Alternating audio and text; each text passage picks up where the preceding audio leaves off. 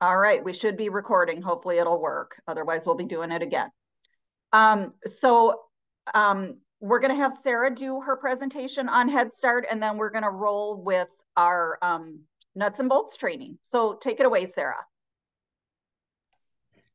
Perfect. Thank you, Barbara. Um, are you okay with transitioning through the slides as yep. I let you know that you can go on to the next one? Mm -hmm. Perfect. So, hi, everybody. My name is Sarah. I am from Head Start at Community Action Partnership of Ramsey and Washington County. I am the recruitment and outreach coordinator for Head Start and Early Head Start programs. Um, so I'm just here today. I'll hopefully only be taking up about, you know, 15 minutes of your time, just giving you kind of an overview of what Head Start is. Um, are any of you familiar with Head Start services already? Maybe, maybe not. If not, that's totally fine. Um, I'm here to just give you give you an overview um, kind of just about our program options, eligibility, and how you can support um, your your child with enrollment. So, Barbara, you can go ahead and go to the next slide.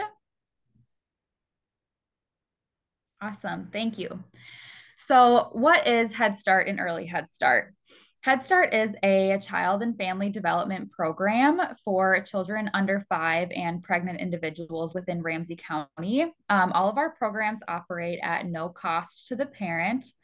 Um, our programs focus heavily on family development and holistic whole family support every family that is participating in Head Start programs gets assigned a family advocate that works with the family um, on meeting personal goals for things like education, employment, parenting skills, housing, um, and can provide access to and referrals to community resources. Family advocates support our participants with accessing community resources, and our speak our staff speak multiple languages in order to provide the best assistance for families. Um, in our program, we have, yeah, we have staff that speak a multitude of languages in the centers and as well as our family advocates. Um, and in the classroom, children are encouraged to learn their home language as well as English. So we have that, that all around support. Um, you can go to the next slide, Barbara. Thank you. So, like I said, in Head Start, we focus on the child's overall development. Um, as part of our enrollment process, we assist the child and family with getting an up to date dental exam, an up to date physical. Um, that's part of our enrollment process. Um, we focus on developmentally appropriate curriculum, and there's a heavy focus in Head Start on social emotional learning as well. Um, families are provided with parent engagement activities multiple times a month. Um, there's like family fun events and parenting groups that we put on for families.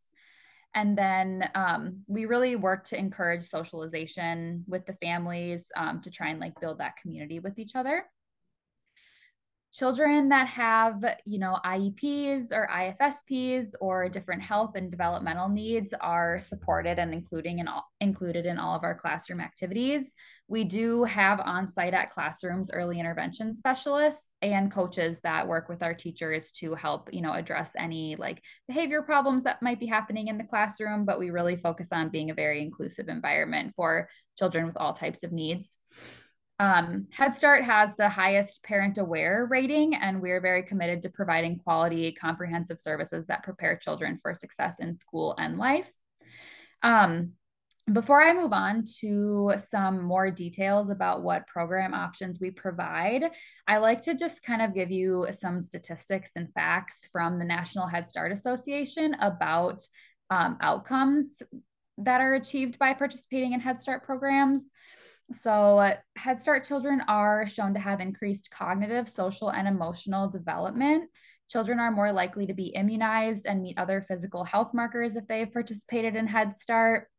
Head Start children are shown to have fewer behavioral problems and are 93% less likely to end up in foster care. And children who participated in Head Start are also more likely to graduate high school and attend some type of post secondary education. So I really just like to kind of say those facts to just emphasize how big of a difference Head Start can make if the child participates when they're young. Um, you can go ahead and go to the next slide. So this is a map that shows um, where all of our Head Start centers are located. As you can see, most of them are in St. Paul, but we do have a couple that are a little bit outside of St. Paul. Um, the map is color coded to kind of show what different types of sites that we have. So, for example, the red pins are where we operate our community action Head Start sites. Uh, the blue pins represent a few of our pre-K partnerships with a few different SPPS schools. The green pins are our community childcare partnership sites, and then the yellow pins are just where some of our admin offices are. Um, an important thing to note is that sometimes things are changing and classrooms get moved around. For example, in this map here, we have our site up in Mounds View, up in the upper left-hand corner, but that site unfortunately is gonna be closing and we're gonna be opening a new location in the fall. So this is ever changing, but this is just kind of to show a visual of where we're at in the area.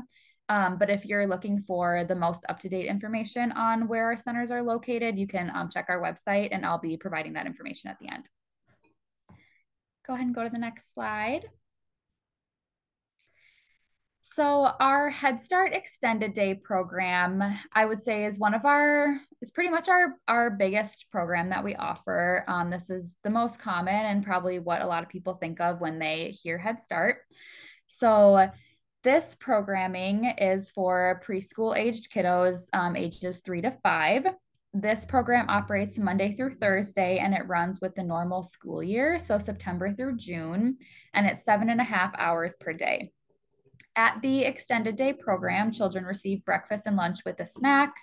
Um, hours hours of operation are either 8 to 3.30 or 9 to 4.30 just depending on which site um, some of them are just an hour one way or the other um, head start extended day services um, like everything operates at no cost to the parent and this service option does not require any additional type of funding um, classroom sizes are between 17 and 20 children. And again, this is all three to five year olds.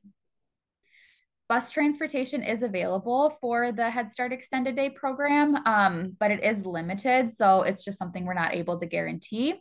Um, but we do route our we do our transportation routes in the summer. So we always say like the earlier that you apply um, it's you know more likely that we'll be able to get you on a transportation route but it's just something we we can't guarantee. Um, but parents or family members are always encouraged to self transport their child to the center if they have the ability and the means to do so. So that's our extended day. Um, barbara you can go ahead and go to the next slide so the next program option that we have for the preschool age children, so three to five, is our full day, full year programming. So our full day, full year sites operate kind of more like childcare centers where they run Monday through Friday. They have longer hours. So they operate from 7:30 a.m. to 5:30 p.m. Um, at the full day, full year sites, children also receive meals and snacks throughout the day. One thing about the full day, full year sites is they do require an additional set of funding, such as childcare assistance through the county or an early learning scholarship like Pathway One. Um, we do have a subsidy administrator that works in our main office that can help support families with navigating these funding sources. Um, but CCAP is, you know, always applied through the county and then Pathway One. There's different area administrators that distribute these scholarships depending on what county you live in. But for uh, Ramsey and Hennepin County, they're distributed through um, Think Small. So you may have heard of Think Small before, um, and they are the ones that distribute the early learning scholarships. One more thing about full day, full year is that transportation is not provided for this program. And so parents or family members are required to self-transport their child to this, this program option. Um, and at any time, if you have any questions about these program options or if anything comes to mind, feel free to just unmute and um, just ask. Otherwise, there'll be time for questions at the end too. So um, you can go ahead to the next slide. All right, so now we're moving on to early Head Start. So, a lot of families I've realized um, aren't familiar with our early Head Start program. So, oftentimes when people think of Head Start, they just think of preschool, right? They think of ages three to five. Um, but we actually do have an early Head Start program that serves um, children ages birth to three. So I can start by explaining our home based program. So, our early Head Start home based program, um, again, is for children ages birth to three. And this home, home based program is also offered to pregnant individuals as well. So, in this program option, each family gets um, 90 minute home visits once a week from a family support specialist. So these visits support parents and family members through a parenting education curriculum, um, provide referrals to community resources, information and education about physical and mental health, dental health, nutrition, um, and they aim to support just early, overall early childhood development through fun activities between the child and the caregiver. This program option also offers twice monthly family fun events that parents are encouraged to participate in. So this is a really great program, maybe if the family doesn't have transportation, or maybe they're not quite ready to send their little one to a classroom or to, to childcare, but they still want that support in the home. Um, this is a really, a really great program. And this home-based program does not require any additional funding. So this is just operates no cost to the parent. And then moving on to the next slide, our final program option is our early Head Start center based. So, this is um, center or classroom based programming for infants and toddlers. And so, our infant classrooms are six weeks to 16 months, and then our toddler classrooms are 16 to 36 months. So, this is another full day, full year program.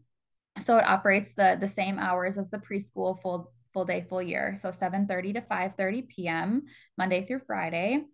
Um, children are provided with free diapers and wipes and formula and meals throughout the day in these classrooms. And these classrooms have a very low child to teacher ratio. So there's um, four children for every one teacher. And so they get a lot of individual attention. Um, and just like all of our programs, the family receives support from a fa- family advocate, an early intervention specialist, and our health team. Um, and so, since this is another full day, full year program, this program option does require childcare assistance or Pathway One funding. Um, and transportation is not available. So, parents or family members are required to self transport to this program. All right. Does anyone have any questions about those four program options? I know it's a lot of information, but we went over the Head Start extended day for ages three to five, the Head Start full day, full year for three to five, and then those two early home based, um, early Head Start options. Does anyone have any questions about those so far? No? Okay, great. We can move on to the next slide then. So, something that Head Start, or at least the Head Start program in Ramsey County, started doing, I believe this is our second year. Um, we have a few partnerships with St. Paul Public Schools. So, we offer no cost Head Start pre K slots within three SPPS elementary schools. So these are Eastern Heights and Highwood Hills and Expo for Excellence. So one of the really great things about this program is that the children that are in our Head Start slots, we we operate in like a mixed delivery system. And so the Head Start slots are integrated in the classroom with children that are not in Head Start slots. But the kiddos that are in our Head Start slots, they get all the benefits of being a part of Head Start. So they get um, support from a family advocate, opportunities for parent involvement. They get support from our health team. Um, they get all that wraparound support while being like integrated into the SPPS pre-K. Um, and then children that are in this program, it often makes them makes it a little bit easier for them to like transition into kindergarten if they want to stay at that elementary school. So it's a really cool program. Um, and transportation for these partnership site programs that's all coordinated by SPPS. So if the family lives within the busing zone, then they would, you know, work with SPPS to secure the busing transportation. All right. So those are all of our program options. Um, so now I can just kind of talk about eligibility for our programs. So in order to be, you can go to the next slide. Sorry, I forgot to say that. So for a family to be eligible for Head Start, there are quite a few different ways that um, that they can be eligible. So I'm here talking to you all today because you are either foster parents already or interested in becoming foster parents. Um, and having a child in foster care is automatic eligibility for Head Start, um, and that does include kinship care.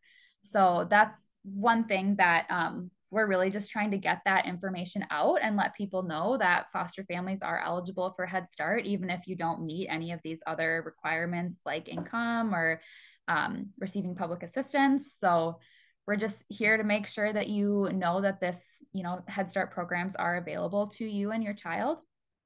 Um, families can also be eligible by receiving some type of public assistance like SNAP, MFIP, or SSI. Um, within the last couple years, it just recently changed that we could use SNAP as an eligibility. So that has been really great in opening the door for this program um, for more families. A family can be eligible um, also by receiving or experiencing homelessness, um, we use the McKinney-Vento definition of homeless homelessness, which just means having a lack of fixed, regular, or adequate housing, and that includes living in a shelter, couch hopping, or in doubled up housing. Um, and then families are also eligible if they're living at or below 100% of the federal poverty guidelines. And we do have a limited number of over income slots available as well. Um, but Head Start in Head Start, we do work to prioritize like the neediest of the needy children in our community. So now just talking about um, how to show eligibility. So eligibility documentation, which is on the next slide. So during the enrollment process, we would need to verify the family's eligibility um, if the child is in foster care, we would just need a placement letter from the foster care worker. Or if it's like a kinship care situation, we would need um, like a DOPA, the I think it's delegation of parental authority letter. We would just need that to show um, that you know the the person has you know legal right to make decisions about the per- the child's care. Um, but that's that's what we would need if the child's eligible through foster care. Um, if the family is eligible through the category of receiving public assistance, we um, if they're eligible through SNAP, we can literally just take a picture of their SNAP card and that's enough for them to be eligible. Or um, like a letter showing that they're receiving MFIP or SSI. If the family is eligible per homelessness, um, the family would need to provide a letter from a homeless liaison or have their address be on um, one of the like known shelter addresses and we keep a database of what those addresses are. Um, there's also like a self self declaration of being homeless as well um, that the family can fill out. And then if the family is income eligible we would need um, pay stubs w2s or a tax form to show income. And then once like we're through the application and the eligibility process before the child is placed um, we would need like proof of date of birth a recent physical and an immunization record or exemption form um, but the immunizations can also serve as proof, proof, proof of birth date so we really try to be as low barrier as possible. Um, we know that there's a lot of hoops that families have to jump through. And so we really try to make it as easy as possible to show eligibility um, and get families enrolled in our program. So on to the next slide, I'll talk a little bit about the different funding sources. And so if you remember when I was talking about the different program options, um, our full day, full year class uh, center based Head Start programs for um, both age groups, the three to five and the zero to three, those do require an additional source of funding. So, the first additional source of funding that can be used is CCAP or the Child Care Assistance Program. And this is applied through um, the County of Residence.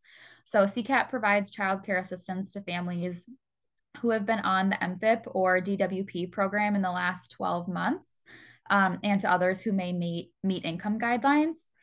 One thing about CCAP currently um, is that CCAP currently doesn't recognize a foster child as being a part of their definition of family, but that is changing in August. So, starting, I can't remember if it's the beginning or the end of August, but sometime in August, um, the CCAP definition of family is changing to include foster children. So, that's going to be huge um, to open up that source of funding to more families.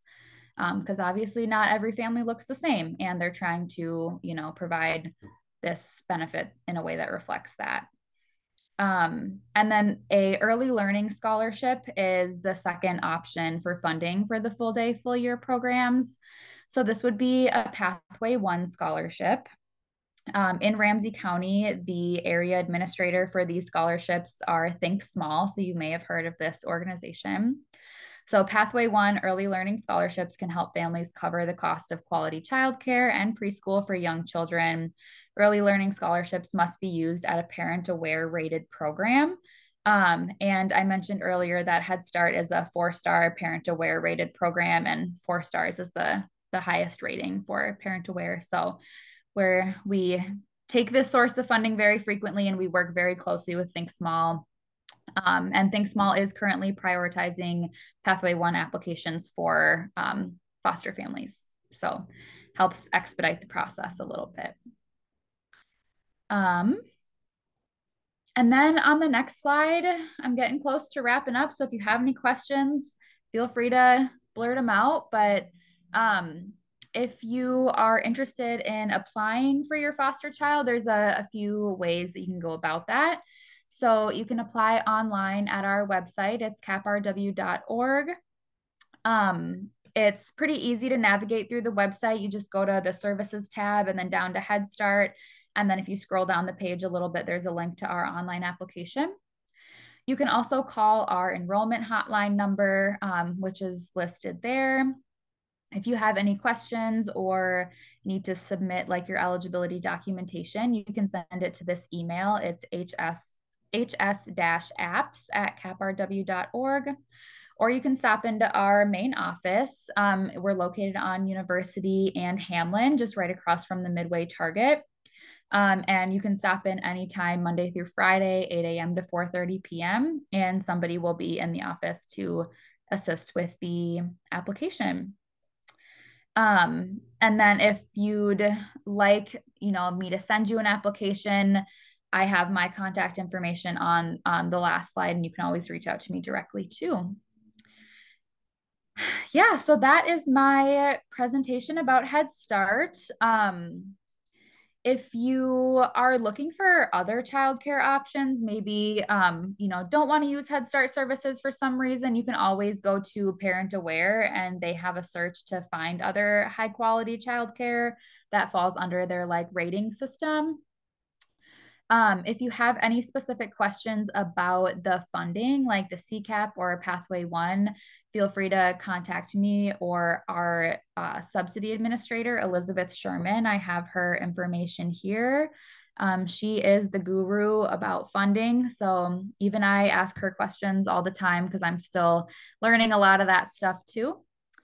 Um, and then, yeah, if you ever have any questions in the future, feel free to contact me. And I, um, yeah, does anyone have any questions that I can help answer about Head Start?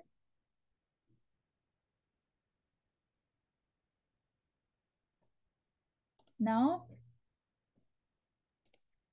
If I was just going to say that, you know, childcare costs can be a real barrier to um, the success of foster care placements. So this is a really good information to keep in your back pocket. Um, so I think even if people don't have questions now, this is really good information to tuck away um, because it may come in handy at some point. So um, if you're if you're gonna um, be caring for younger kids, please um, hang on to this information. It could really be useful. Absolutely. Uh, this is Robin. Uh, I just have a question about, is there deadlines? Like, um, I'm not sure uh, we may be getting our um, foster child in the next month or so. Mhm. Is there deadlines to filling out these applications? Yeah, so you can fill out an application year round. We accept applications year round. Um, for our extended day program, that's the one that ends in June and then starts back up in September. We do stop enrolling. Um, I believe it's at the end of April for like this current year, but you can still apply to get in um, in the fall. And then for the full day, full year program, we stop enrolling for the current year I believe in early either late May or early June. Um, but same thing. It's it's it's more so like a soft deadline for us to be able to stop enrolling for the current year, make sure that we have our slots filled for the current year, and then start planning for the next year. Um, but you can still apply anytime. It's more of just a deadline of like you might not be able to get in in this current program year, but you can still apply and get in um, for the fall. And then um, you said that uh, are all of the programs um, except foster children um, are without payment, or do we have to make additional payments like for like the ex the all day extended um, going through the summer months? Yeah, so all of our programs operate at no cost to the parent. So the the programs that require the additional funding um, that would come through the child care assistance or the pathway one um, with the child care assistance i would have to double check with elizabeth on this but um, this would also be a question for like your county worker. Sometimes there's like a copay that you might have to pay depending on your income. Um, but it's still wouldn't be like anything compared to the cost of paying out of pocket for the whole program. Um, but with the Think Small scholarship, nothing comes out of pocket. It's just if you have like a copay that comes with the childcare assistance, but that would be a question um, more specifically for for the county worker. They'd be able to tell you like if any, if there would be a copay. But aside from that, it's all no cost to the parents. So we don't require to we don't require parents to pay for like diapers or food for the program or any of the like family fun activities. Everything is operates at no cost. And the do you um the copay is that based on uh the income a percentage of the income or is that that the yeah. uh, parents make yeah, I actually don't know 100% how that copay is calculated um, because it is through, um, it is like through the county that they would determine that. But I can definitely follow up with Elizabeth and then maybe send an email to Barbara and Naomi and get some more clarification on how exactly that's calculated. And they could pass that information on to you if that's okay. That's fine. Thanks. I appreciate it. Yeah, absolutely. I appreciate their presentation. It was very good. Thank you. Yeah, of course. And one thing that um, is cool to mention too so, with the Pathway One scholarship, oftentimes we hear of families going to other childcare centers and childcare is expensive and so oftentimes that scholarship like won't last the whole year um, of childcare and so one really cool thing that Head Start does is that if a family is using a Pathway One scholarship and they run out of funding, like before the year is done, Community Action will like cover the cost for the rest of the year. So they won't like kick you out of the program just because your scholarship runs out. They will like cover that cost for the remainder of the year or until your renewal time for your scholarship comes up. So okay. that's a big a big difference between like us and you know other childcare. So i just like to like to plug that because it's a cool thing that that the yes. program does. Okay. Thank you. Yeah absolutely. Any other questions?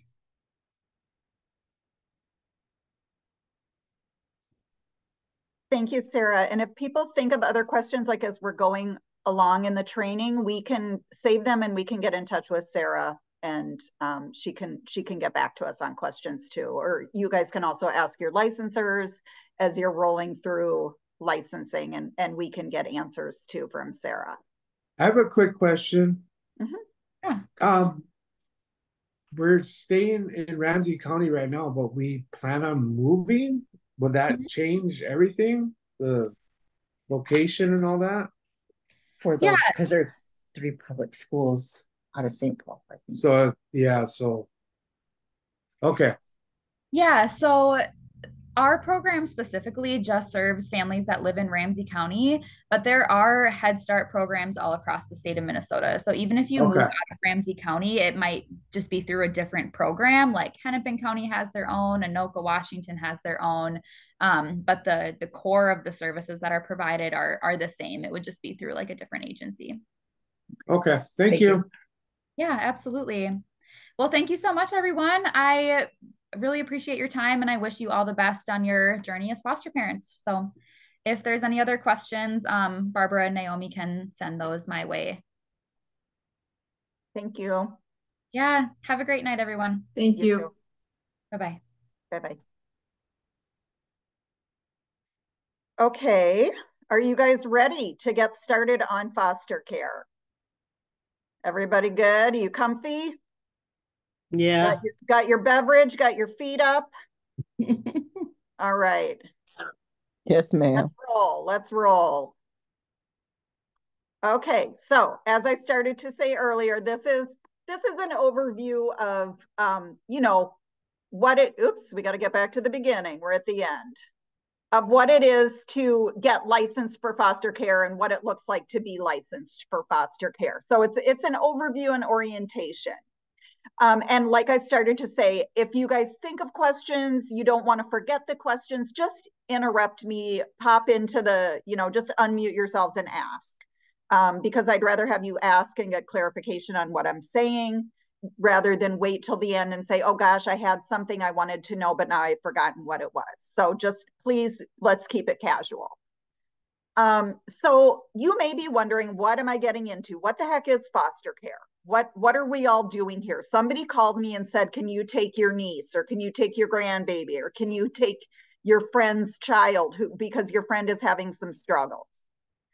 Um, so what does this mean? Or maybe you're thinking, I want to do a service to the community. I want to help. I, I don't have any relatives who are in trouble, but I just want to do this. But I'm not exactly sure what it is that I'm getting into here. So here's what we think about when we think of foster care. It is temporary for starters. We think of it as a temporary arrangement because our goal is always that we want we want families to be together. Okay, we're not trying to permanently disassemble families. Um, so we think of foster care as a temporary arrangement um, because um, parents or guardians are having a struggle and there something's going on that they can't um, safely parent their children at this time. Okay. Um, and, and, and somebody's brought it to the attention of, of child welfare. Okay. It's gotten to that point where somebody felt like we need to get um, the system involved. Okay. Things, things are usually to a pretty, you know, a pretty desperate point when somebody's decided they got to call in the system. It's like, okay, family can't handle it anymore. We're we're we're to that point, right? And so um somebody's brought it to the attention of child welfare. Child welfare's gotten involved. And but but still always the goal is to to keep the kids safe, to um to make sure they feel safe, loved, and cared for while we are supporting the family's efforts to reunify or to reunite or to become whole. So that's where the foster family comes in.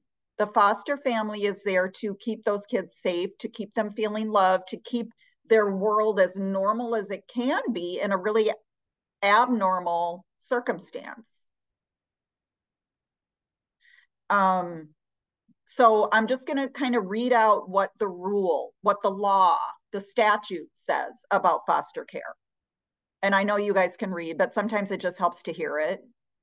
It's a 24 hour a day, it's 24 hour a day care of a child following placement by the commissioner or a licensed child placing agency with legal placement responsibility.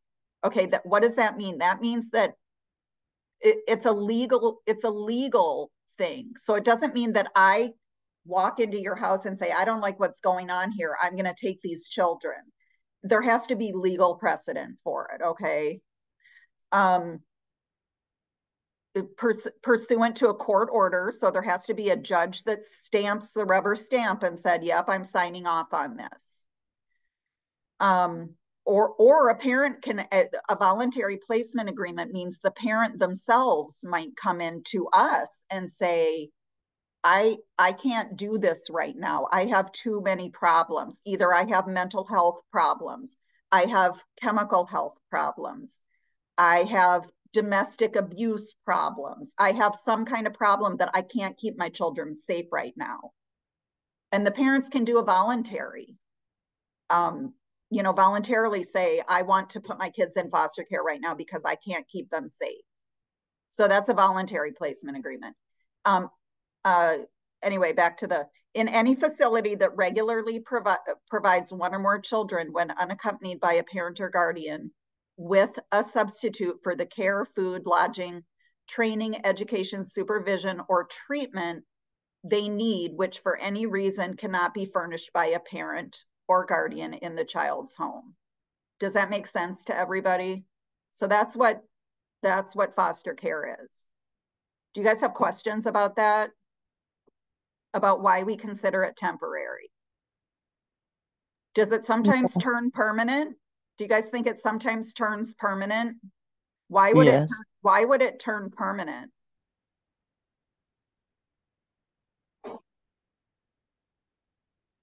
Adoption? Adoption. Mm-hmm. And and when that happens, it's because a healthy relationship was uh, created. Um, the maybe they just kind of fit in um,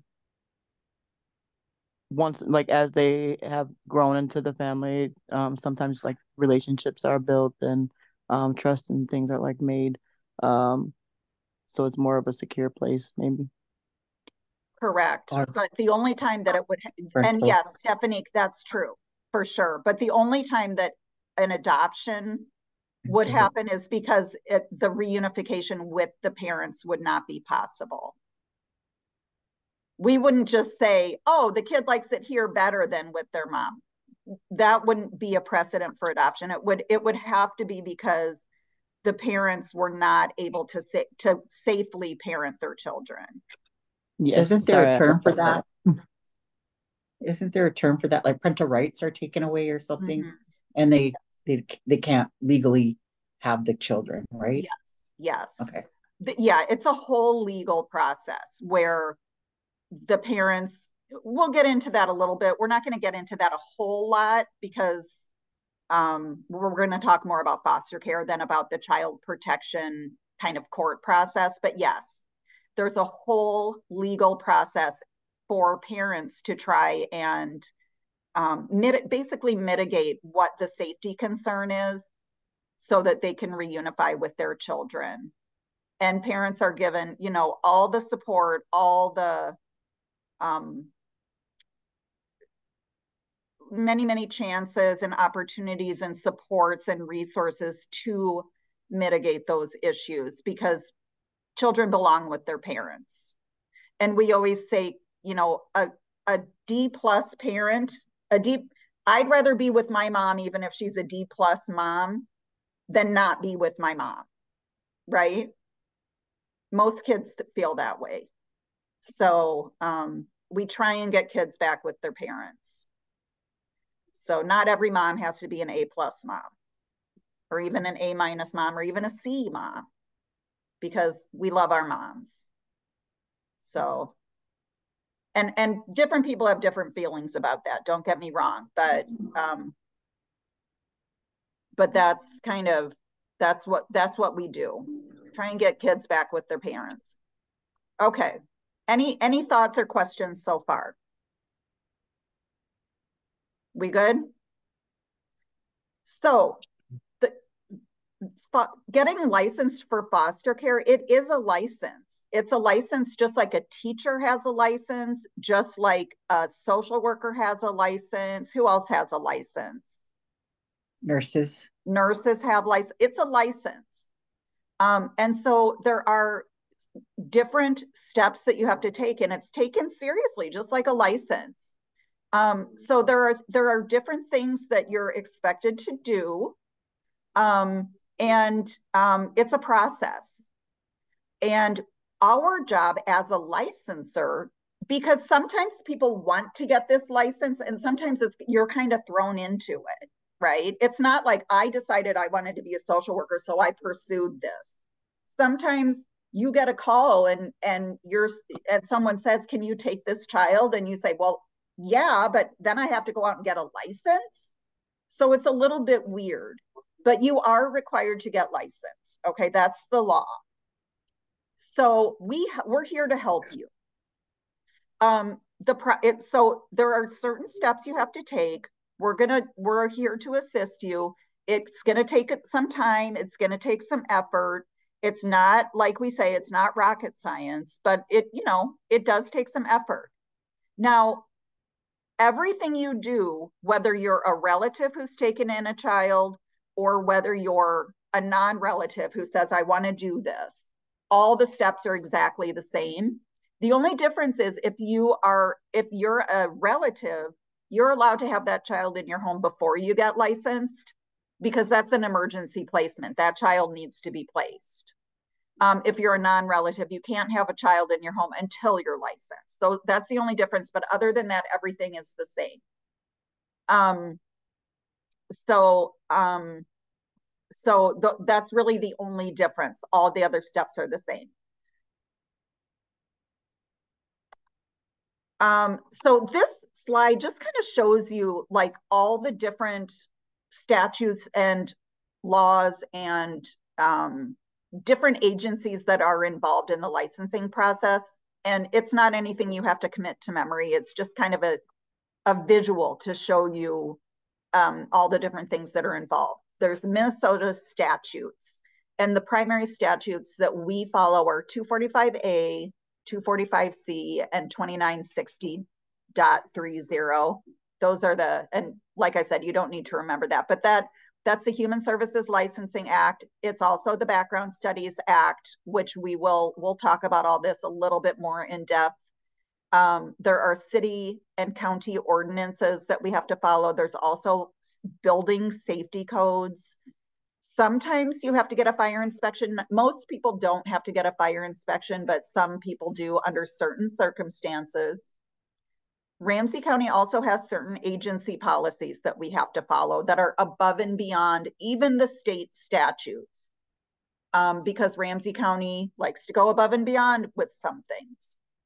Um, and um, so those, you know, that that's the basic overview of all the different um, requirements.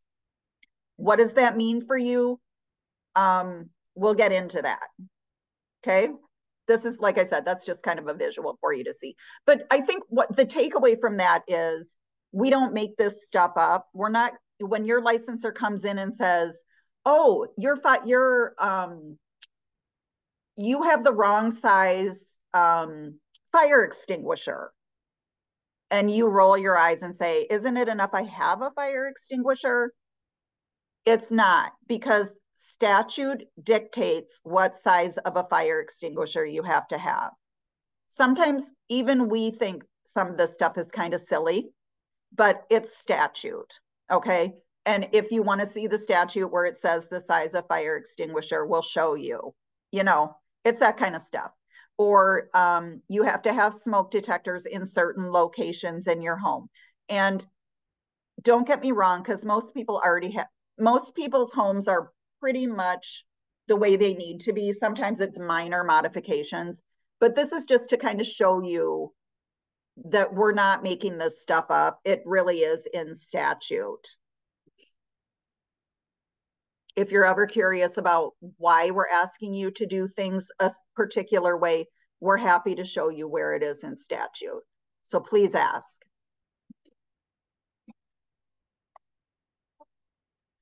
Okay. Why do kids get placed in foster care? In case you're curious, what are the main reasons that kids wind up in foster care? Um, first of all, um, in Minnesota, um, over 4,000 kids and teens um, end up in foster care in out of home placement um, each year. So that's a lot of kids in foster care. Um, the the most of them are in foster care due to parental substance use disorders.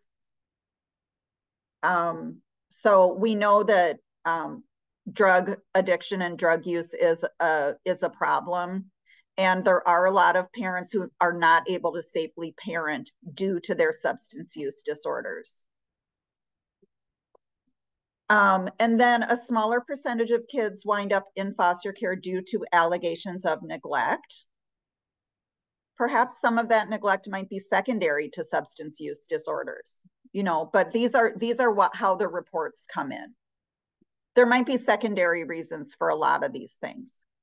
10% due to allegations of physical abuse.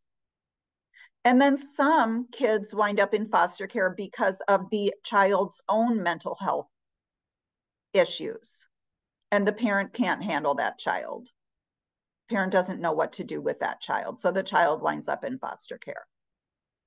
So those are just some some things to think about when you're thinking about um, oh, I want to do foster care. These are the these are the types of traumas that children are suffering in their family homes. So when you think about doing foster care with kids, think about the trauma that they're bringing with them. Right?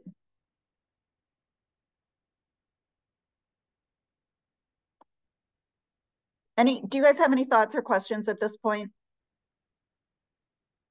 Okay. Um, just a few more numbers to throw at you. Um, the average number of days kids spend in foster care, 400, over 400. So that's over a year. The average number of different foster homes kids um, are uh, spend time in two to three. And sometimes that's because um, they re- they go home with to their parents and then oops they wind up back in foster care because something uh, has happened. Or it may just be because they are they are placed in a foster home. Say they get placed in a foster home with grandma and then grandma says you know what? This isn't working. I can't do this. And then they have to go to another foster home. What do you think that does to a child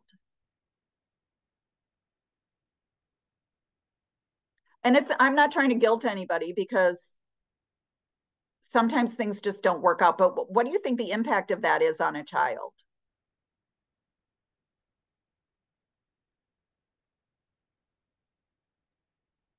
It can be traumatizing. Yeah it can be traumatizing. You can feel abandonment. Mm-hmm. Yeah i i think so too so it's kind of like tr more trauma on top of trauma, right? So, you know, our our goal in foster care is to really try and reduce those multiple foster care placements. Um, so we really want to work with our foster families to try and have successful placements, whether it's with relatives or whether it's with non-relatives. We really want um, our foster placements to work out. And so we as licensors want to be um, supportive to you and to help things go well. Um, and so we we really hope that we can have good communication with our foster families and to help support you um, as best we can. And so it, you know, having good communication with you, hearing from you, um, trying to figure out how to best support you is really important to us for for your you know for your well-being as well as for the kids well-being. Um, percentage of youth in foster care who are reunited with their families almost 70% that's really good you know but that means 30% aren't. Um, breakdown by age.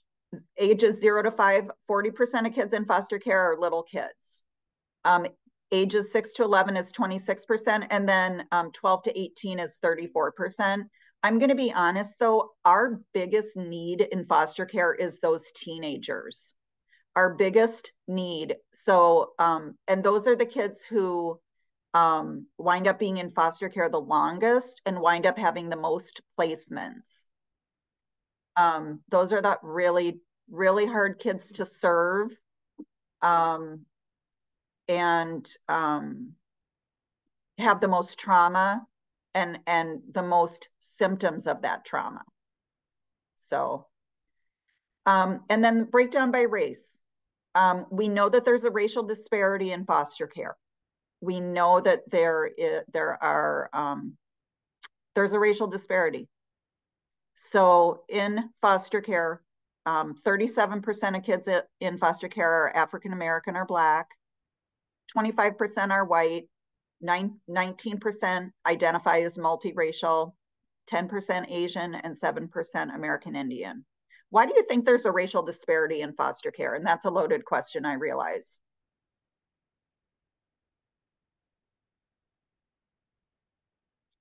Anybody have any thoughts about that? Different cultural breakdowns like um environments, um um like financially just kind of different things like that. Mm, okay. Their background. Okay. Socio and economic uh, disparities or okay. Anybody else have thoughts about that?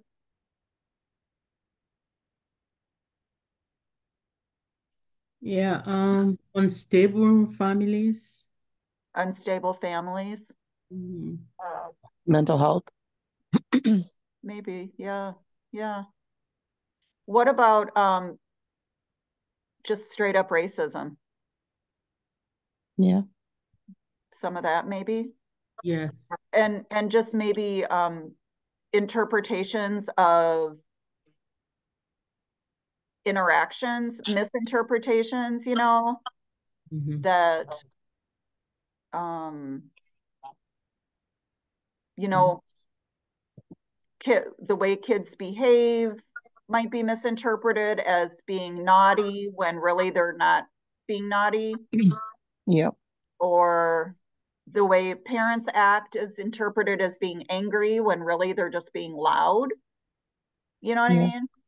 So, a lot of times too with um I personally work in a um teen shelter um, and a lot of our youth that I have been in this um in foster multiple different placements mm-hmm. um at that age they feel unwanted um and like I know too like things have changed just in society how just with communication um and so there's a lot of miscommunication happening within that mm. mm-hmm. um, so yeah, I think there's just maybe like there's some bridges that need to be gapped um as far as that. And it's no one's fault. It's just kind of like you know, you a lot of mental health now is in the foster care too, where mm-hmm. I guess you going in would maybe think I'm just kind of caring for this child until there's they can go home safely, but mm-hmm. then also not really realizing that they have those traumas um, as well. Yes, yes, I agree and we know we know about systemic racism too so that even people with good mm-hmm. intentions may just have biases that they're not aware of and um, you know mm. that accounts for i think some disparity too so absolutely yeah um ramsey county has the highest rate of relative versus non-relative placements in the state. So that you know that's a good thing that we're that we're working really hard to keep kids with relatives. We do extensive kinship searches and try and keep kids with family. So at least if they can't be with mom dad with their immediate family that they can be with people that they know that know them and that love them.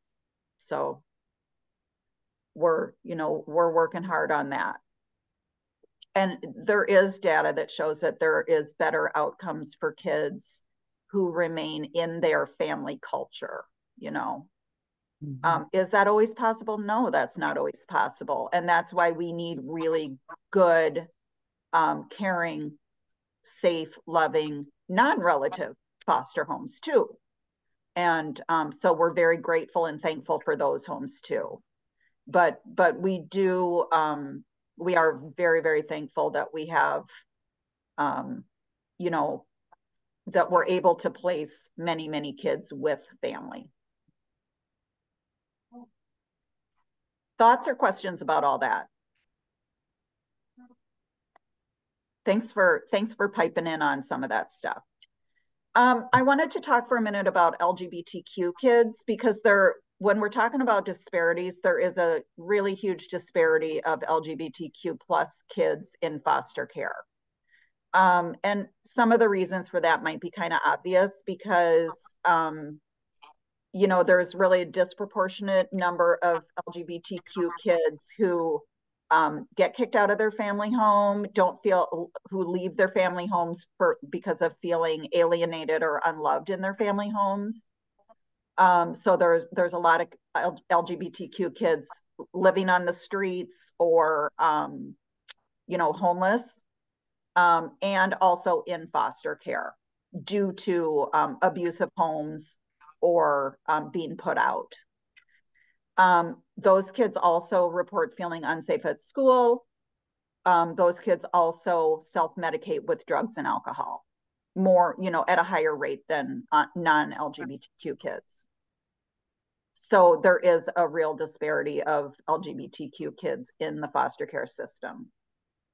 So um, we have, a, you know, there there are some points about how to talk to LGBTQ kids and help them feel like they belong and like they're wanted. To me, it's how you would talk to any child. Um, and maybe just think about it in terms of LGBTQ kids. Take the time to listen and be available to talk about anything. That that goes for any kid, right? Um, support mm-hmm. children, and I mean this uh, makes me think about teens, I guess, but support them through support their self-expression by letting them make their own choices. Kids like to, you know, sort of be different, um, have wild clothing, hairstyles, um, you know, piercings sometimes, whatever. Um, let them have the friends of their choosing. I mean, as long as those friends are safe. Um, let them decorate their rooms how they want to, you know, that's their self-expression. And sometimes, yeah, they do it to tick us off, right? They do it because they want to get a rise out of us, but um, we got to pick our battles. Um, practice respect for um, the kids in your life and in, insist that everyone who comes into contact with those kids also um, treat them with respect. So that means no off-color jokes about gender and, um, sec, you know, no gay jokes, no gender jokes, those types of things. Listen, I'm of a certain age where um, gender is really, I struggle with getting those pronouns right sometimes. Mm-hmm. But I do my best, you know, and everybody needs to do their best. And hopefully, kids will give us grace when we screw it up. But everybody has to do their best and make their make the effort. Um, allow kids to participate in activities that they want to participate in, reg- regardless of what's gender normal or gender typical, you know, and educate yourself. Um, whatever, if it's LGBTQ history and issues, if it's um, robotics, if it's, you know, whatever your kid is interested in, um, educate yourself and be interested. Hey, um, Stephanie, can you mute yourself? Because we can hear your background noise. Thank you. Appreciate it. So yeah, just educate yourself on that stuff. If you have an LGBTQ kid in your midst, you ought to know that history because it's important history. Um, and and it'll be important to that child to feel seen and heard and loved.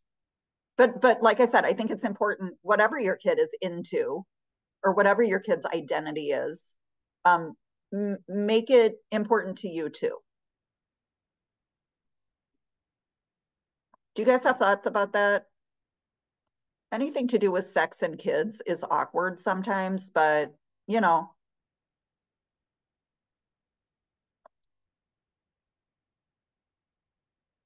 Okay. Let's get into some nitty gritty here. How, what do you need to do to be a foster parent? Well, you got to be 21. Okay. If you're a relative and you're not quite 21, like we've had some big sisters and big brothers want to take in their younger siblings, we can do variances for that. If they're like 19, 20 years old, we've done variances for that to make it work. But basically, the law says you have to be 21 any marital status will do single, widowed, divorced, anything goes. Okay. If you are married, though, both partners have to be on the app, you both have to be licensed. If you are domestic partners, in other words, anything other than like completely platonic roommates, you both have to be licensed. Um, I've licensed people who have said, we're married, but we're not it's not really like a marriage. You still both have to be licensed. Um or we're we're we used to date but we don't really date anymore but we still sleep in the same bed you both have to be licensed so i mean there's all kinds of weird partnerships but unless you're like literal roommates you both have to be licensed. So if it's a weird situation, we can always talk about it and sort through it, but domestic partners both must be on the license. Um, you can own or rent your home. It doesn't matter. It doesn't matter where you live, unless it's like, yeah, I'm living in my mom's basement. Probably we can't license that, but most residences we can license. I mean, we'd have to license your mom. She would be the license holder. Um, but you can own or rent, house, apartment, duplex, whatever. You got to be able to clear a background check, and most people clear background checks. You can have a checkered past. Some people have checkered pasts. Um, there are a few things that are going to disqualify you from a background check. Um, they would be things like violent crimes, sex, sexual crimes. Um, if you have something like that on your record, you might want to talk to us about it uh, we will know, we will find out anyway when we do the background check. So please, if you have something on your record, just talk to us about it and we'll sort through, we'll sort through that too. Um, but you do, everyone in the home has to do a background check. And then the last thing is family stability. If you um, are in an em emotional kind of turmoil at the moment, foster care might not be the right option for you if you're going through a divorce, if your parent just passed away, if you, you know, if your job is like, I don't know, if you're about to get fired or something like that. If if if your life is upside down right now, this is something you really need to think hard about because foster care will turn your life upside down. So um, it's just something to think about and you can talk to your licensor about it talk to your family about it if this is really a good option for you. So just want to make sure that um, you are in a stable place to be a stabilizing force for the children child or children that you'll be caring for. Questions or thoughts about that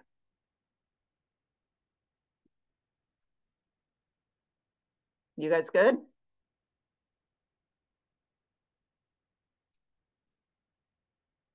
Okay. So what happens? somebody places a child with you or you say, I want to be licensed. Um, you will, if you're a relative, a social worker will come out and meet with you, bring you some information, help you log on to the electronic system and get you started with the application. Is that kind of how it's gone for people? Okay. If you're a non-relative, you will log on to the website, you get signed up for the training, you fill out the application, you get a licensor assigned to you. Once a licensor is assigned to you, and you guys can tell me if this has not been your experience, this is how it should be going. Once a licensor is assigned to you, we will get in touch with you. We'll schedule a visit and um, we'll get you going with our electronic system is called Binti, and there's a slide on Binti a little bit later. Um, we'll get you going on the electronic system to complete the paperwork. We will ask you to fill out an authorization to start the background studies. Um, we'll start um, setting up regular meetings with you because we will want to get to know you to determine if you are a good option to um, be licensed for foster care. Um, and concurrently to that, we'll have you work on trainings. Um, we will um, help you get the paperwork done. So it's paperwork. We have to do a um, inspection of your home. And um, so trainings, home inspection. The home study consists of learning about your history, your life, your parenting style, um, things like that. And um, Naomi, if you can think of anything I'm forgetting, I think that's about it. Um, so that process can take, like I said earlier, three months or so, sometimes longer. Um, and then once you're licensed, um, we will continue to have ongoing contact with you about once a month for the first six months that you're licensed, and then we back off a little bit. But remember, it's a licensure. So you have to maintain your licensure by doing ongoing training. You have to do 12 hours of ongoing training a year. And then after the first year, we do a relicense where your license has to be reviewed. And then um, every year after that, we either do a relicense or a licensing review. So licenses are good for two years, but we have to do a review of your license every year. So on the off year, we do a review, and then every other year we we renew your license. Some some things that can hold up getting license are background studies. Sometimes they get delayed, and reasons for delays might be if you um, had a conviction in the past. Maybe you had a DUI. Maybe when you were 22, you um, had a breaking and entering, a burglary charge, or you know some misdemeanor on your record. Things like that can slow down um, your background study process that is not going to disqualify you from being a foster provider, but it is going to slow it down. Another thing that can slow down your licensing is that we need three references from friends, families, coworkers, somebody in your life who can vouch for you. And those references, you have to like, sometimes you have to keep on those references. Hey, get your reference back for me. Um, and um, those references are are a necessary part of getting licensed. You have to have three people in your life who will say good things about you. The other thing is the training. You have to do that training. And so the quicker you get that training done, the quicker you get licensed. Some people have very busy lives and have a hard time fitting that in. Other people get it done, bada bing, bada boom. Okay. So a lot of getting licensed depends on your motivation, your schedule, and your level of, you know, ability to get it done.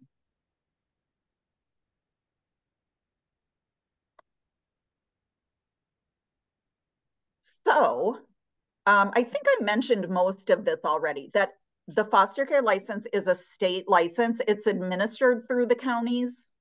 So we do all the work and the state signs the paper, basically.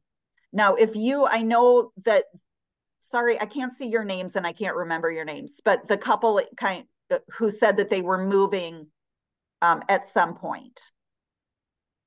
So if you move yeah. to a different county, yeah, if you move to a different county, um, then your license, we can transfer your license, but you'll have to go through some process with the new county.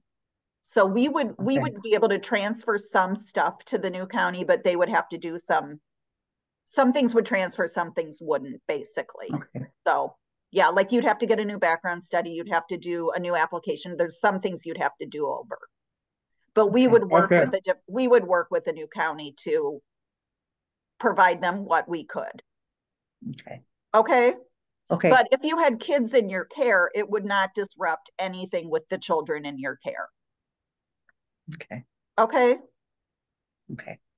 Um, I already said that licensing requirements are the same for relatives and non-relatives. Um, I already said that everything that we do is based on statute and law. There is a foster care manual and we will, we provide that manual to all of our um, foster providers. Um, it's a, it's kind of a thick manual. I think it's like 75 pages, but it's laid out pretty well. And there's a, there's a table of contents. So like if you were interested in finding uh, what do I have to do to get respite, for example, it's pretty easy to flip to what you need. And also we are here as a resource to you. So we can answer questions as well.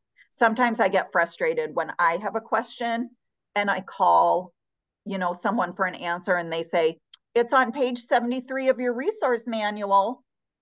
Sometimes I just want the answer. And so we are here. We will help you get the answers that you need but we will provide you with that manual also. Um, it's really important to follow the rules. Like I said, all these rules are statute and law and are, are you know, there's the, sometimes regulations and rules get a little tiresome, but they really are set up for the safety of the children in care and they are important to follow. Um, so we do expect that our foster providers will follow the rules. Um, so not following the rules of foster care could lead to consequences, such as we, we can and we do issue correction orders. A correction order is really just a piece of paper saying, hey, you didn't follow the rules. This is a reminder of what the rule is. Sometimes correction orders will come with some retraining. Okay, we might have you go through another training. Um, and um, sometimes it's just a reminder to do something but it is you know it's a paper trail basically and it gets put in a file and nobody really thinks about it again unless something else happens in which case it could lead to a fine or it could put your license at risk um, we don't always have to do a correction order if there's a big bad ugly situation we, you might put your license at risk right off the bat so it's not like we have to do step by step um, but typically, you know, we're we're more about support and retraining and help. We're not about um, you know, stepping in and and we're not punitive. But but if something big and bad happens, um, you you may put your license at risk if a child's safety is is compromised. Questions about that? basically the bottom line is follow the rules. If you're not clear on the rules, please ask. what are the trainings? Okay, you're in one of them right now. You're in nuts and bolts. I don't even think nuts and bolts is listed on here. I, I gotta fix that. Um, you also have to take a class, Introduction to Mental Health. That is a class that's required to get licensed. And then you also have to do some kind of mental health training each year that you're licensed. Okay, it doesn't have to be the one mental health class, but it has to be something that has to do with children's mental health. You also have to do a child passenger restraint training. We call it CARS. That's an acronym, but I can't remember what it stands for. Um, everyone who has children in their care up to seven years old has to take the child passenger restraint tra training. Okay. If you have ki a kid who's eight and up, you do not have to take that training. You have to take that training every five years as long as you have kids under the age of eight. You also have to take abusive head trauma and sudden unexpected infant death if you have children five and under. And again, you have to take that training every five years as long as you're caring for children five and under. The other classes you have to take are FASD, fetal alcohol spectrum disorder. That has to be taken every year okay, every single year. And we have a number of different FASD trainings so that you don't have to take the same training every year. You also have to take something called comfort calls. QPI is Quality Parenting Initiative. That's an organization who puts out this comfort calls training. And that's a class about um, working together with the bio parents in the best interest of the child. The orientation class, I guess that's this class. It's called Nuts and Bolts. There's another class called Normalcy and Reasonable and Prudent Parenting. That's always a mouthful to try and say. That's a class just about how to help kids in foster care feel like plain old normal kids. So they don't feel othered while in foster care. And then there's a class called mandated reporter. What does it mean to be a man? Do you guys know what a mandated reporter is? Yeah, okay. Most people do. Okay. Yep. If you don't now, you will. Those are the classes. So you see, it's not a short list of classes you have to take. It's fairly, fairly significant. It's about, I think it's about 12 hours of training. So it's not like, you know, a huge commitment, but it's it's enough that you have to take in order to get licensed. The good news is all of this training can be done from the comfort of your couch with one exception. The child passenger restraint training you actually have to show up to by law. It is required in, as an in-person training. All of the other ones you can do from home. Okay. It didn't used to be that way, believe me. It used to be show up to every single one, but now we can, since, I mean, the maybe the only good thing that came of COVID was that all these trainings are remote now. Um, once you're licensed, uh, you have to do 12 hours of ongoing training. You have to do mandated reporter training every year. Like I said, you have to do one hour of mental health training every year. You also have to do FASD every year. And then the rest of the hours you can do what you want as long as it's related to child well-being child foster care child mental health um, lgbtq um, something that has to do with kids and kid well-being. We're pretty loosey-goosey with it. If you're not sure just check with your licensor.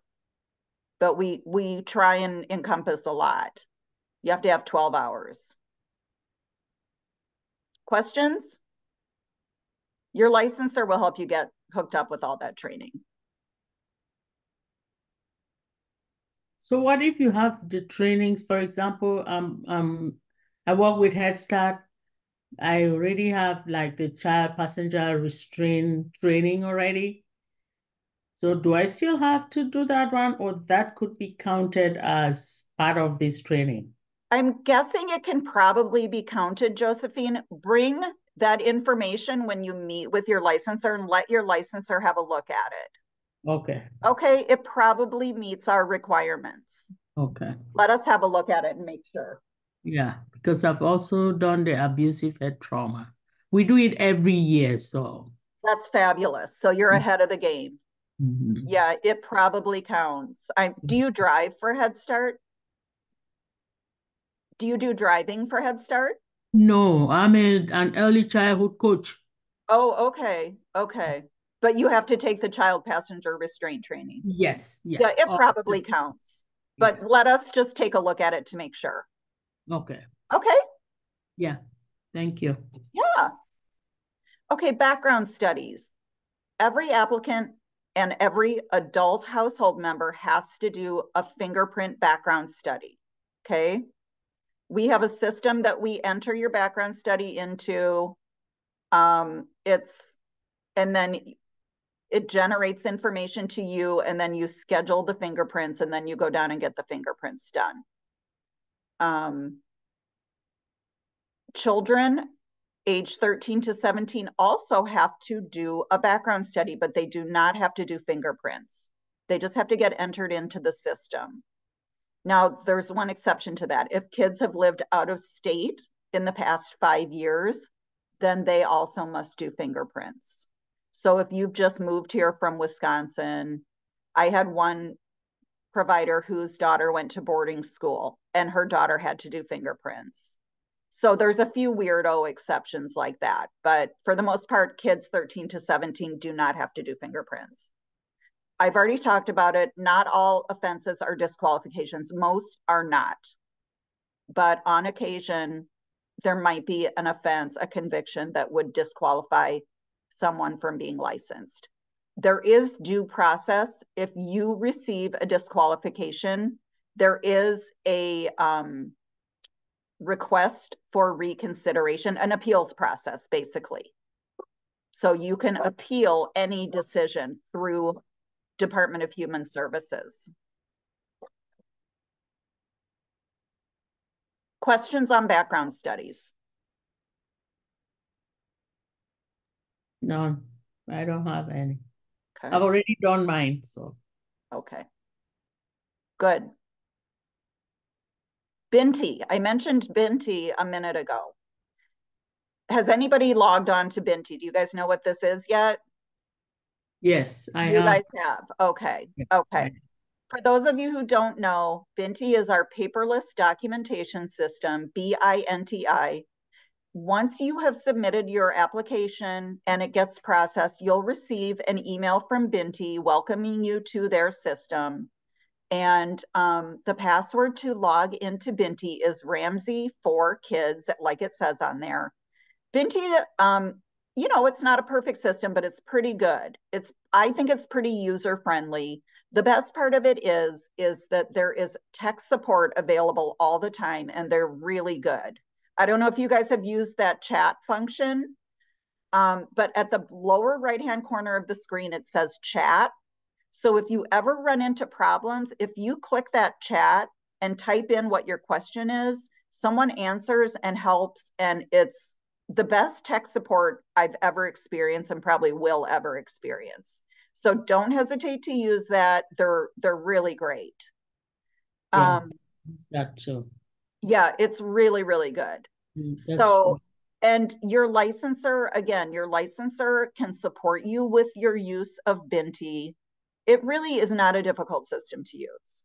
But, you know, some some people are a little bit more averse to technology than others and um, might need a little bit more support. So um, your licensor can help you with that too. But that is our system. And, you know, in you in using some of these technological systems, um, I've I've really tried to wrap my brain around using technology and um, sometimes I feel a little resistant to learning new technologies. I'm not going to lie, but as foster providers, um, you know, you guys are going to be having to learn technologies in order to support these kids like schoology. I that's the that's the school system in st paul. I don't know what it is if you live in the suburbs but in st paul they use schoology and scheduling doctor's appointments for kids and all these different online systems that we have to use in order to support children. So kind of thinking that binti is just one more technological system that we have to learn to use in order to support the kids you know that that we're supporting. So um hopefully it won't be too difficult to learn and and we're here to support you with it.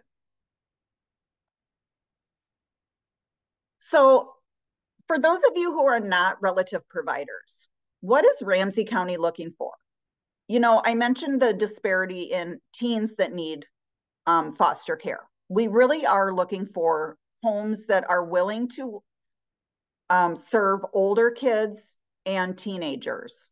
Um, we have a lot of foster families who um, really want to have babies and little kids in their homes. Um, but what we what we are really lacking are people who are willing to help out those older kids. Um, and um, also who are trauma informed because we know that, and I know that's kind of a catchphrase that gets thrown around a lot, trauma informed, but it really is, we really do need foster families, both relative and non-relative families who are willing to learn what does it mean to have trauma? What does it mean to be traumatized? And what can I do to help a kid who has experienced really deep trauma and who is acting out on that trauma, right? And when that kid is making me crazy, they're not doing it to make me mad, even though it feels like it. They're doing it because they're traumatized. So what how can I put that in perspective? And how can I like manage and make this placement successful with this kid who's really having a hard time and making me have a hard time? You know? so we we really are looking for for people who are able to learn about the effect of trauma on kids and and can um, figure out how to manage that and help these kids. Um, we also want family uh, want foster providers who can work with the families of origin, who are willing to work with the families of origin. Sometimes it might be your family, or sometimes it might be a family that you don't know. Um, but we want people who will work together with the families um, to, because it's in the best interest of the of the child or children. We also need foster providers who are able to able and willing to take sibling groups. So like brothers, sisters, more than more than one child. Because our, we're really committed to keeping siblings together. Um, kids are already being removed from their parents. We don't want to separate siblings, you know. Um, also, we need homes that are LGBTQ friendly. We've already talked about the disparity of LGBTQ kids in foster care. And also, this might seem kind of silly, but we need foster families to provide transportation. We need families who are willing to drive kids places because we know kids need to be driven places. And a lot of times we get families who who aren't super happy to do that. But kids kids got to get around. So we we need people who are willing to take that on. Questions or thoughts about that?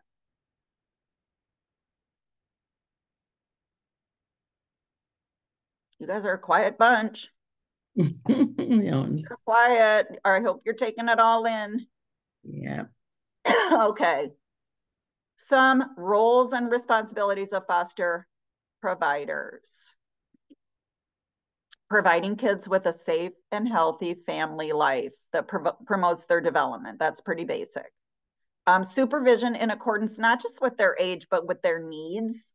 So you might have you know an older child in foster care who really can't be left alone for whatever reason maybe because of mental health reasons maybe because you know they self-harm or um, because of chemical health reasons or because they run away or uh, whatever reason. They might need a, you know just like enhanced supervision. So every kid will have a placement plan, and foster parents get a copy of that placement plan um, that'll tell you what their supervision needs are. So um, foster parents are expected to follow those those placement plans. Um, so we, we just need um, supervision in accordance with with what those needs are. And again, if you're not clear, if you're not sure, it's important to ask.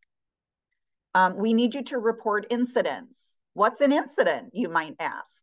Um, an incident, I think we have a slide on what an incident is, but incidents are basically um, injuries that need medical attention. Um, police interventions. So like if a, a child runs away and you can't find him and you have to call the police, that would be an incident um, if an illness rises to the occasion that medical attention is sought, or not medical attention, but like emergency room attention is sought. Um, so big incidents. And again, if you're not sure, just report rather than don't report. Um, we need um, the foster parents to respect the importance of the child's birth family to that child. And again, sometimes it gets complicated if it's your family also and you're really angry about the situation, you got to keep that to yourself because that child loves their family. So um, you have to be careful about how you present your feelings about the situation. You have to facilitate parental visits and sibling visits, and to the degree that you can, extended family visits. Legally, we're required to do parent visits and sibling visits unless there's a legal precedent not to for example, um, sometimes we don't do visits if there's sexual abuse or something like that. But but almost always we do parent visits. Um, and we are legally required also to do sibling visits if siblings are not together. We're not legally required to do grandparent visits, auntie visits, extended family visits, but we want to keep those family connections. So to the degree that we can, we want to do that. Um, we have to keep data privacy. We have to keep information about the child and their family confidential. So we can't talk over the backyard fence to our neighbor about the situation. Things are HIPAA protected. We have to be careful with that. Um, we want, we need to act as a mandated reporter. You guys all nodded that you knew what that meant, and you're also going to go to a training specifically about what that means too. Um, once you're licensed for foster care, you are a mandated reporter. You so you have you don't get to choose. You have to act as a mandated reporter. Um, you also need to um, actively cooperate and maintain ongoing communication with the workers in the child's life, the placing working worker and the licensing worker, and then there's other people too. There might be a guardian ad litem, teachers, um, therapists, different different people acting in that child's best interest. You also want to keep records on the child. That doesn't mean you're writing daily log notes or anything like that, but you want to keep medical records. You want to keep a file, either an electronic file or some kind of file of the records that you receive on that child, IEPs, different things like that. And then that we talked about the training requirements. Um, so I always tell people don't wait until the month that you're getting licensed to think about, oh, yeah, I got to do 12 hours of training. Try and stay on top of that as the year goes on so that you're not like totally overwhelmed by that training at the last minute. Does anybody have questions about those? You know, that's just obviously an overview of responsibilities of licensed foster providers. Yeah, I wanted to ask about the uh, uh, the visits. Um, do we are they to visit the kids at the foster parents' home, or the parents are taking the kids to visit? I mean, the yeah, their family, or is both ways? Which yeah, thanks. That's a great question. Rarely would the parents visit at the foster home. Sometimes, okay. if it's a relative like if I'm grandma and I have my grandkids, I might have my child come visit at the home, right? Because it's my Mm-hmm. child. okay. Um, but that wouldn't be typical for a non-relative foster provider. Usually the visits would happen someplace outside the foster home. And you wouldn't be going to the mother's home either. You would meet someplace in the community. okay. Yeah. And it wouldn't necessarily be the foster parent supervising the visit. It would, it might be someone else supervising the visit too. Okay. Um, we have case aides who sometimes supervise the visits. Um, we don't have that many case aides, so they don't always supervise the visits. There's a, you know, they can't supervise every visit. So they might ask the foster parent to supervise the visit if they're comfortable doing that. Um, sometimes we, there are agencies that that's all they do is supervise visits. So maybe the foster parent would just be doing transportation to the visit and then someone from the agency would supervise the visit. So there's lots of different arrangements.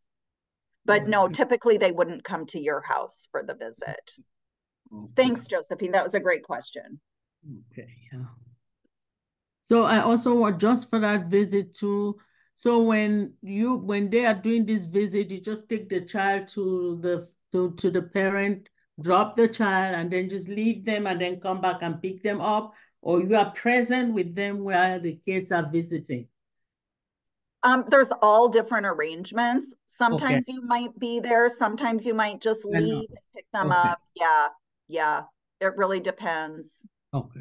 That's something that you would work out with, say, the the social worker. You would work that out with the social worker. Okay. Yeah. Thanks for the question. Welcome. I have another question on the the yearly trainings. So Okay. those, those 12 hours, are, is it like spread out throughout the year? Or you can just take them as they come? So you can spread it out throughout the year. And usually what we licensors do is we send you, we'll send our foster parents different trainings and say, hey, we thought this might be interesting to you. hey, you might want to register for this training, or you might want to log on and watch this training. It might, you might like to do this. So those trainings are optional, but it's a way to get your training hours in. So you might say, oh yeah, I want to do that one, or nah, that doesn't look interesting to me. But we'll send you trainings throughout the year that you can do. Or you might say, oh, I, I do a lot of training through Head Start. I'm going to just use my Head Start training as my training. And then just check with your licensor that that will count towards foster care. Or someone else, Shakari might say, oh, I um, listened to this podcast about, you know, mental health. I'm going to use that for my training. I'm going to check with my licensor and see if that works. So you can pick and choose other trainings, even stuff that we don't send you. Okay. If it counts towards, you know, if it's relevant, or maybe you read a book, you know, a memoir about a kid who was in foster care, that'll work. So you guys can use your own, you guys can have your own ideas too. Okay. Um, and we have a form that we'll give you to fill out. It's like an ind- independent study form that we can give you to fill out. So there's all different ways to get training. But we do provide resources to you. Okay. Okay.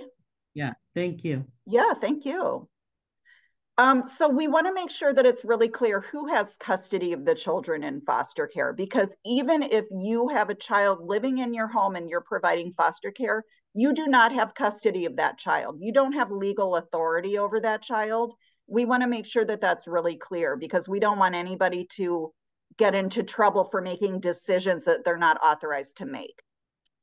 Um, so you do have physical custody of a child in your care okay? However, you don't have legal custody. The agency, Ramsey County, has legal custody over the children in foster care. So the social worker who placed that child, in other words, usually the child protection worker, that's the individual who has legal authority over that child. So they would be the person to make legal decisions for that child so if that child, for example, needed a medical procedure, it would be Ramsey County who would have to authorize that medical procedure. Okay. Any kind of big decisions for that child would have to be made by the social worker.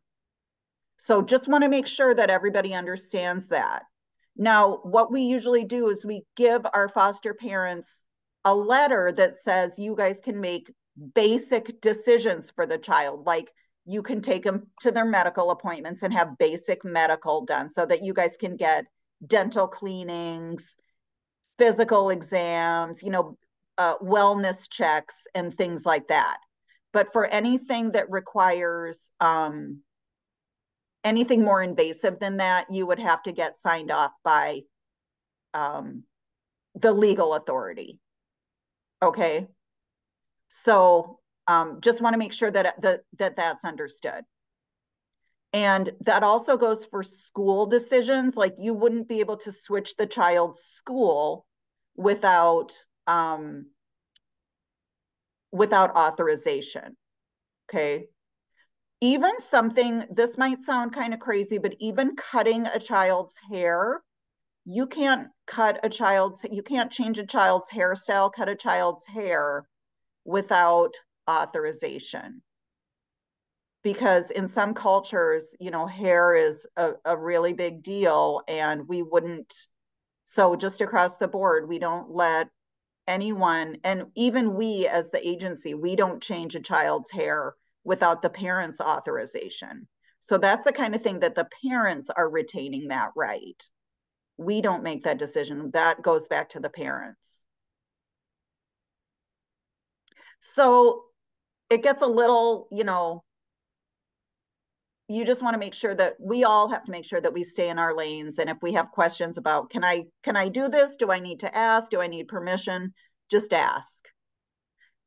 Foster parents do basic day-to-day care, health, and, um, you know, daily family care Um, but any kind of bigger, bigger things we have to get permissions for. So like the, you can see right below, it says the do's and don'ts. Don't sign for approval of medical procedures. Do, okay, this is a big one too. Do get written permission prior to any out-of-state travel because crossing state lines is kind of a big deal with a foster kid. So file that one in your back pocket too. And then, and, and I'm sure you'll hear that repeated once or twice. And then don't sign any education plans or IEPs either. That would, that's something that has to be signed by um, the social worker too. And if there's an IEP meeting, the social worker would be there for that. So I don't think anybody would even ask you to sign that, but if they did, just, you know, just say, you know what, I think that the social worker has to sign that. So I think a good rule is if anybody asks you to sign something for the child, you might just say, you know what, I got to check with the social worker, see if I can sign this. And a good standard line is, I'm a foster parent. I'm not sure I can sign this. Questions on that?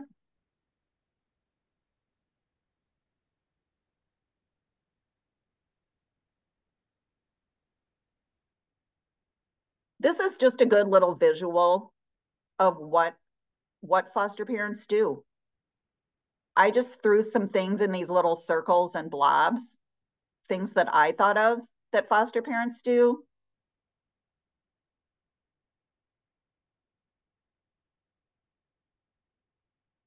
see the good, daily needs, let kids be kids, transportation,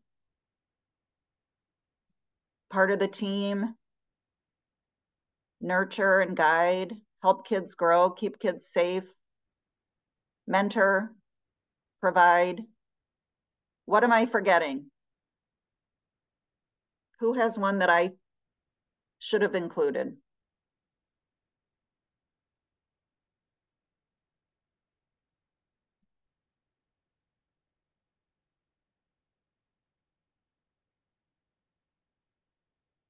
I'm sure I didn't think of all of them. Love. I didn't see love there. Love. There you go. How did I forget that?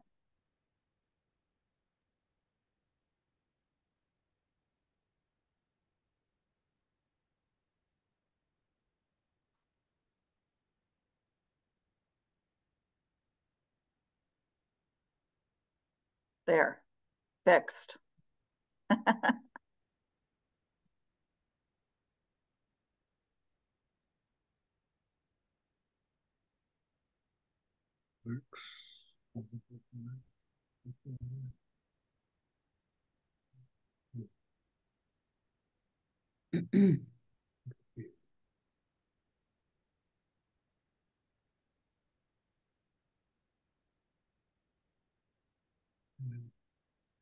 What do you think, you guys?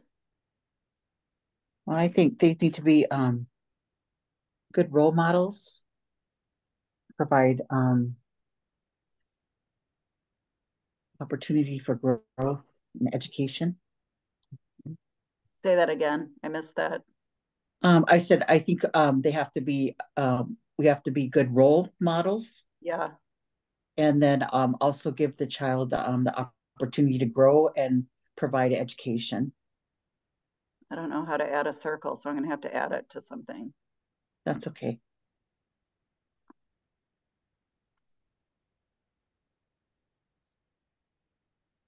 Love it. I'll figure out how to add a circle later, but for now, we'll just do it like that. Good ideas. Oops, it's not where I want that comma.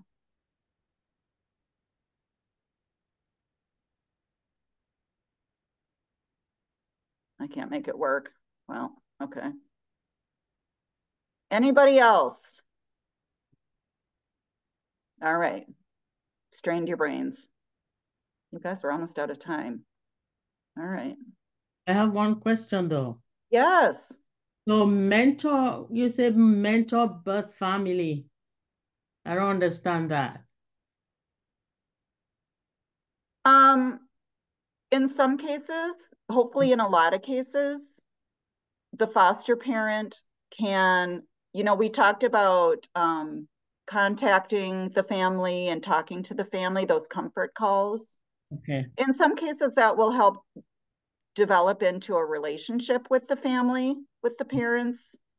And um, like somebody said, well, somebody said being a role model, not just to the kids, but maybe to the parents about this is what a healthy family looks like. And let us help you learn to be a healthy family. Okay. Okay. Yeah. Thank you. Yeah. When to notify your licensing worker. Um, so like I said, we're going to meet with you every month. Okay. At least to begin with, but you might need to get in touch with us in between those meetings. Um, always notify us before a foster child moves in. Okay. Always notify us if a placement ends or a child moves from your home. Okay. We need to know what's going on. Um, also, if you have a change in household members, if someone moves in or moves out, for example, I have a child moving out of my home because she's going to college in a few months. So if I was licensed, I would need to notify my licensor about that. Um, any changes like change of at, obviously if you're moving, we need to know, but if your telephone number changes, your contact information, or if you have a big life-changing event, please let us know. Um, if you're gonna, we I already mentioned this, but if you're gonna travel out of state with a foster child, we need to know about that in advance. Um, if there's an emergency that involves your foster child, um, let us know about that. If there's an emergency involving you, like if you wind up in the hospital, um, we should know about that too. And, and it's not because we want to get all, all up in your business, but we just we want to know because it it is potentially affecting the care of the child. Okay.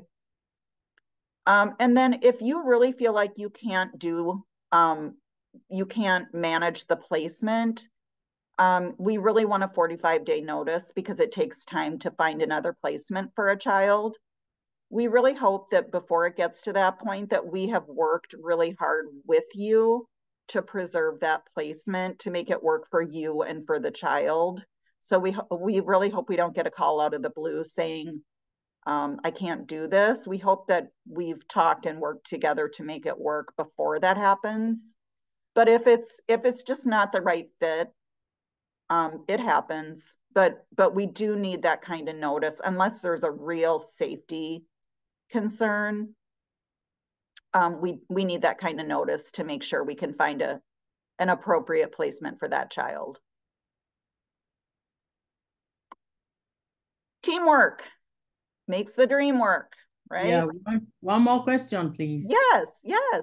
If you have somebody visiting you from a family member just visiting, maybe spend the night and then go Uh-huh. to what what do I have to notify the social worker about that?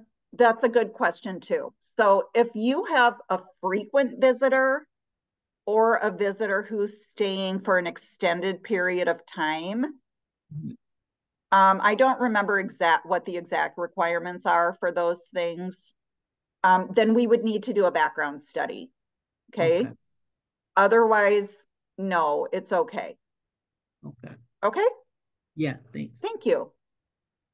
Um, so these are just a few of the people involved in um, your life once you're licensed for foster care. The birth parents are going to be involved in your life. Okay. The foster, well, you're the foster parents. The licensor is going to be involved in your life. The placing worker, i.e., the child protection worker. There are other people who are going to be involved in your life. Like I said, the t- this child's teachers, the therapists, the court system, the guardian ad litem. There might be a child um, children's law center attorney who might be involved in your life. The, the point is they're gonna you're gonna have a lot of new and interesting people involved in your life. And some of those people are gonna be in your house and some of those people are gonna be in your business. So um, it's just it's just a reality of this. So um, it's just something that you have to understand as part of it. Um, and if you're going to do this, you just have to kind of, I can't tell you you have to be okay with it, but you have to understand it's part of it.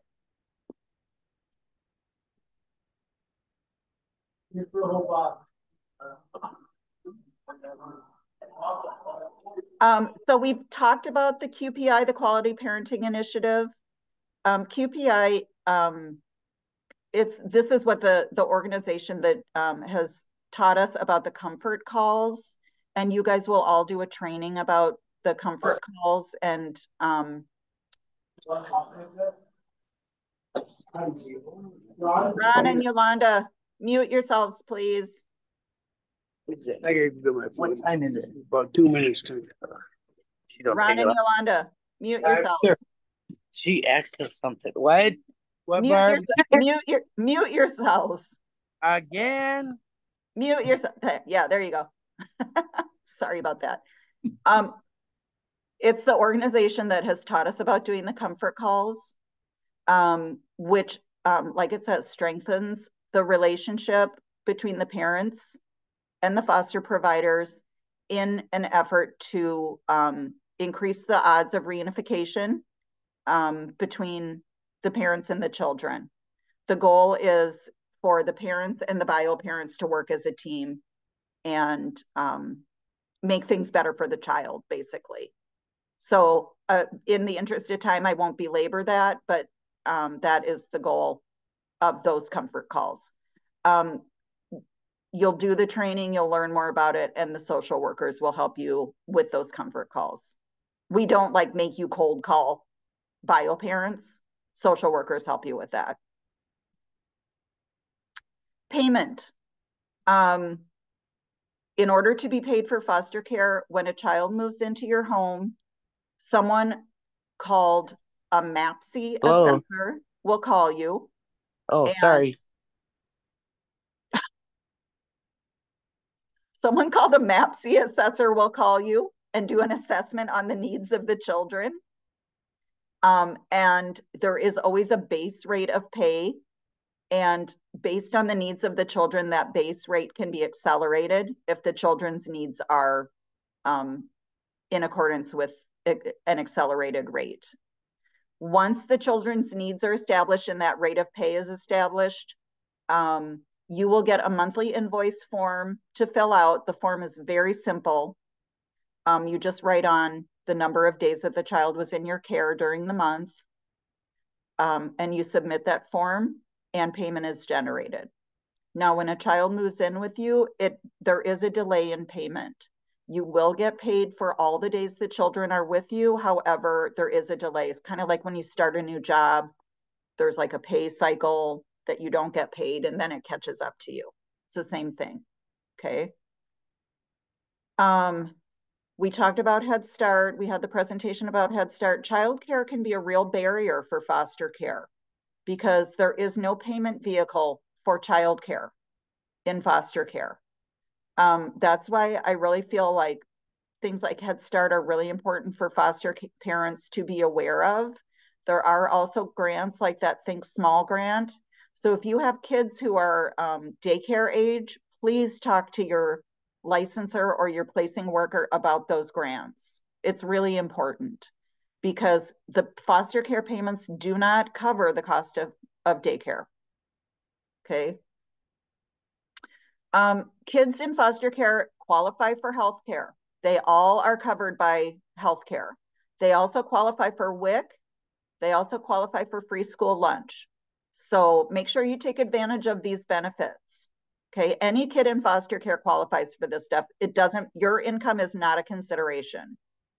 Kids in foster care also qualify for clothing allowances. Kids in foster care sometimes come with very little. They also grow. That may surprise you. They grow. Um, and they need new things. So you can talk to your workers about getting them a clothing allowance. Okay, just mention that and, and the workers will work with you on that. Lastly, I just want to say a quick word about self-care. Um, you guys, this is hard. You need to take care of yourselves. Please um, tend to your own needs. Be aware of your own limitations. Um, if there's something that gets under your skin, be aware of that. Don't let it get the best of you. Give yourself breaks. Um, we do have respite care. If you want to um, take a weekend to yourself, ask your workers about respite. If you have a network of people who can help you, don't feel like you have to do it all yourself. Ask your friends and family, can you come over and give me a break? I need a break. Don't don't be shy about doing that. That's what our friends and family are for. Ask your worker for suggestions and resources. Let us help you. Whoop. Uh-oh, what did I do? There we go. Um, respite care um, is another licensed provider who can take the children to another licensed home while you get a break. The kids will be safely cared for and you get a break. Substitute caregivers um, are people in your circle who can get you a break. Substitute caregivers may need some training, may need a background study, but do not need to be licensed. Ask your worker for more information. A babysitter does not need specialized training. A babysitter is just a babysitter. Okay. Your worker can give you more information about how all this breaks down, but it's just really important, really important for you to get a break. I don't know what I keep doing here. There's also a foster parent support group. Can you guys still see this? There's also Yeah. a foster parent support group. Um, it meets every month. Um, and your, again, your worker can get you this information, but I just wanted you to know that it's out there. It meets the fourth Monday of each month. It's currently on Zoom. It used to be live. It was pretty cool. They did, they babysat the kids, they gave the kids dinner and the adults met. It's now on Zoom since the pandemic and they haven't gone back to live. Um, but, uh-oh. Sorry, I think I'm about to fade. But um, it's still a good group. They they do a topic and then they let people just talk. Good thing we're almost done because I'm having technical issues. How can we help? Placing workers and kinship workers strive to place children with caring and qualified relatives and to maintain those placements. When relative placement isn't possible, we want to match families to children. We don't match children to families. We don't say, I want a child who's like this. No, we want children to be matched to appropriate adults, not adults to children. Um, we want to um, work with foster families to support you in getting licensed and to keep the kids in placements um, with, with the best families. Um, we want to provide you with resources. We want to train you to help you grow and learn and be your best for the kids. We are we licensors are your worker. We are here for you. The the CP workers are they're working with the parents, they're working with the kids, they're working with a lot of different people. Licensors are really your worker.